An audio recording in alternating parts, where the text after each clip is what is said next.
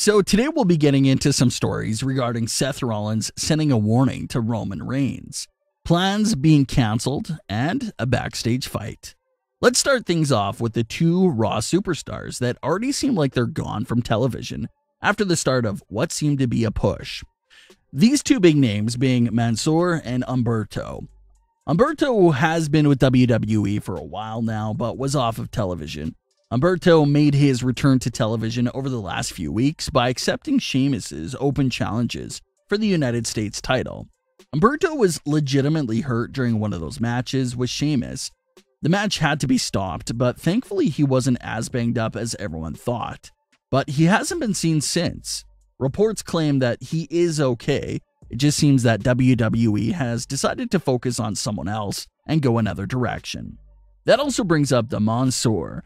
Mansoor has been with WWE for a handful of years now, but was never officially a part of the main roster locker room. All that changed a few weeks ago when he was shown on screen signing his official Raw contract. He faced Sheamus, lost his long undefeated streak via disqualification, and hasn't been seen since. So Mansoor has been a name that fans have been discussing over the last few weeks. They want to know where is he? What's going on there with him? Was it a one night only appearance? Well, technically, no. He did sign the Raw contract, so it appeared like we were going to see him on a regular basis from now on. But apparently not. It's really hard to tell. Everything seems to be really week to week with these sort of things. So who knows what's next for Humberto and Mansoor? It appears that Sheamus is now feuding with Ricochet, so What's going to happen to the two small feuds he started with Mansoor and Humberto? Well, that's a good question to ask. Maybe it's done, or maybe they'll revisit it in the future. We're just going to have to take a look at it week to week. Seth Rollins sends warning to Roman Reigns. Backlash ended with the big teaser of Seth Rollins versus Roman Reigns and Rollins attacking Cesaro. Well, Seth Rollins recently appeared on WWE's The Bump and was questioned about his intentions with Roman Reigns. Seth had this to say on everything going on with Roman Reigns. Well, if I wasn't caught up in the middle of it, I wouldn't make anything of it, but like I said a few weeks ago, if his cousins don't stay out of my business, I'm going to make it my business to shut them up the same way I did to Cesaro. So, it seems to me that he's got one of them under control. Now, if he wants to get Jimmy on the same page as Jey, respect. And I'm going to give him the opportunity to do that just as I know he would to me. But like I told him, straight up, I don't care who you are, head of the table or the tribal chief, you're my brother. You're Roman Reigns. But when we're face to face, we're equals, my friend. So I'm going to give you the opportunity to get what you need to get done with your family. That's your business.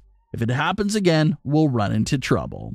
Roman and I, we don't need to have a working relationship. You know our history, you know everything that's gone on between us. We don't need to have a working relationship to be on the same page, especially when it concerns Cesaro. So, just some more great words from Seth Rollins that really adds more context to everything going on right now. As of this moment, it looks like Seth Rollins' issue is with Jimmy and Jey, not Roman Reigns. And we saw them have a short conversation about this backstage a few weeks ago. Seth Rollins straightened everything out with Roman Reigns, but warned him that he had to get his cousins under control.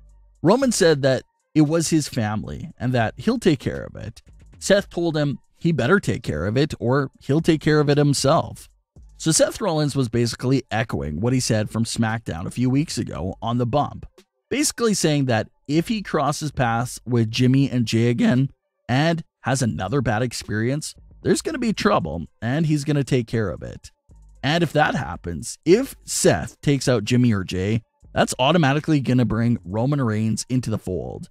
Yeah, Roman Reigns' character is self centered and all that, but his feelings with family seems to be legitimate. You attack one of his, and he looks at it as an attack on him. So if Seth puts his hands on Jimmy and Jey, that's going to likely lead to trouble between Roman and Seth. Who knows? Maybe that's the route they go in after all. Maybe Roman vs. Seth jumps off because Seth's issue is with Jimmy or Jey. So maybe it's not a full blown face turn for Rollins. Maybe it's a heel versus heel match that came to be because of that little family issue there. But it definitely seems like that's the direction we're heading in. Hell in a Cell is the next event, and like many have pointed out, this event isn't really meant for new feuds. This event and the Hell in a Cell match itself is usually known for being the end of long feuds. So Reigns vs. Rollins won't be happening at that event at all.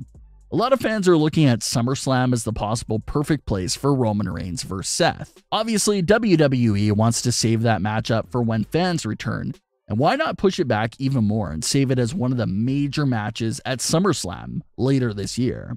That does make a lot of sense, and would be the perfect matchup for what's looked at as WWE's second biggest card of the year.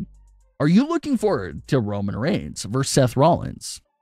Kurt Angle recently opened up about one of the WWE backstage fights that he saw the aftermath of. This was, of course, the 2006 backstage fight between Batista and Booker T. Kurt Angle recently opened up about what he saw that day on his podcast. He had this to say I was there after the fight ended, but I heard what occurred. Batista got there for a commercial. We were all doing the commercial. I think it was for SummerSlam. Someone approached him and Batista said, Hey, when are you coming over to SmackDown? Because I have nobody to work with. Booker took that as, wait a minute, I'm on SmackDown. There's a lot of people to work with. I think Batista was just saying because there was a lot of injuries going on and it was getting bare at the top. And he was just trying to tell the person, I would love for you to come over and work a program with you. I don't think it was anything personal against Booker T or anyone else on SmackDown. So Batista said it, and Booker T confronted him. Now the situation got hotter because now Booker T confronts Batista. It makes Batista look like an idiot.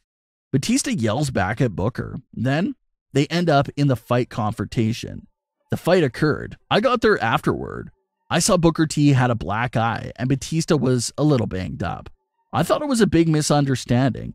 I know they apologized after and made up and did whatever they had to do to move on. I think it was just a big misunderstanding and they misunderstood each other about the whole situation. It was a shame. It really was. It didn't have to happen. So that was Kurt Angle's explanation of the backstage fight. This was one of those backstage fights that have been floating around online for a few years now, but it was the first time Kurt Angle told his side of the story, basically saying that it was just a big misunderstanding. Batista was telling people that he wanted to work with them because no one was on SmackDown. Booker T was on SmackDown, so it seems like he took that as Batista basically calling him a nobody, and that led to the conflict. Ironically and strangely enough, Batista and Booker T would later feud with each other for the World Heavyweight title which saw Batista finally capture the world title from Booker T. But what are your thoughts on today's stories? Leave your comments. Don't forget to subscribe with all notifications on and leave a like if you enjoyed. Thanks for watching, guys.